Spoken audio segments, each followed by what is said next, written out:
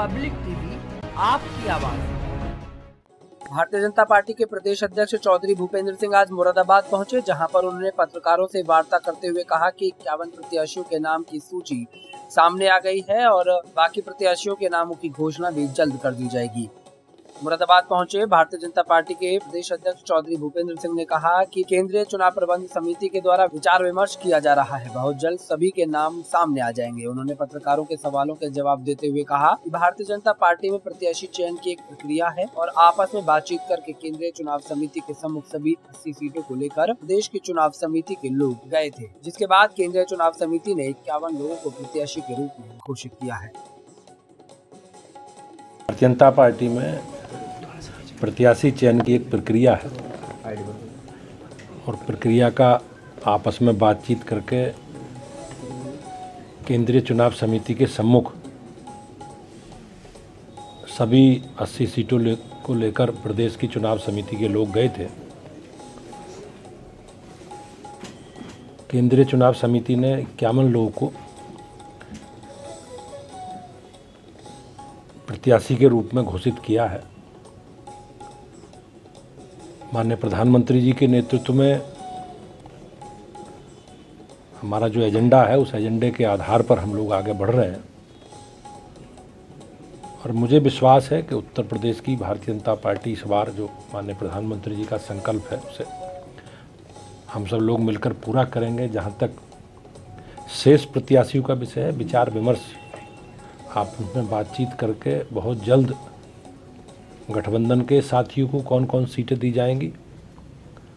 और शेष प्रत्याशियों की घोषणा केंद्रीय चुनाव समिति जल्द से जल्द करेगी।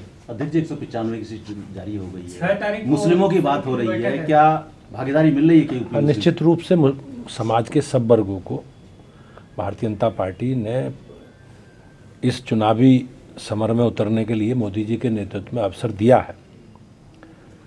चुनाव जीतने की सभी दलों की रणनीति है। और उस रणनीति में एक प्रत्याशी चयन की प्रक्रिया भी एक महत्वपूर्ण भूमिका निभाती है। मुरादाबाद से कितने रहे अब ये तो पार्टी को तय करना है केंद्रीय टीम को तय करना है लेकिन मोटा मोटा आपस में बातचीत विचार विमर्श का काम पूरा करके विषय केंद्रीय चुनाव समिति को केंद्रीय पार्लियामेंट्री बोर्ड को उसमें निर्णय लेना है। बहुत जल्दी नामांकन से पहले पहले आपको सूचना मिल जाएगी।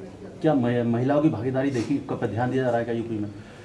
नहीं मैं हम सबको जो आपने एक सौ पचानवे प्रत्याशियों की सूची केंद्रीय चुनाव समिति ने जारी की है उसमें समाज के सब वर्गों को प्रतिनिधित्व दिया गया है। बहनें भी हैं पिछड़े भी हैं अनुसूचित जाति के लोग भी हैं ट्राइबल भी हैं समाज के सब वर्गों को।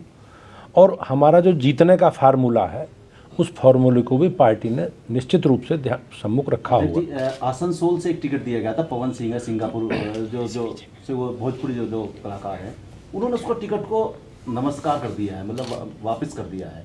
ये एकदम से इस तरह का मुझे इसकी जानकारी नहीं है मेरे राज्य से संबंधित विषय भी नहीं है। और जो उन्होंने किस प्रकार से किन परिप्रेक्ष्य में ये बात कही है अपने वो पश्चिमी बंगाल की स्थानीय हमारी पार्टी की इकाई है। वो उस पर कुछ बेहतर से बता सकती है। पब्लिक टीवी आपकी आवाज़।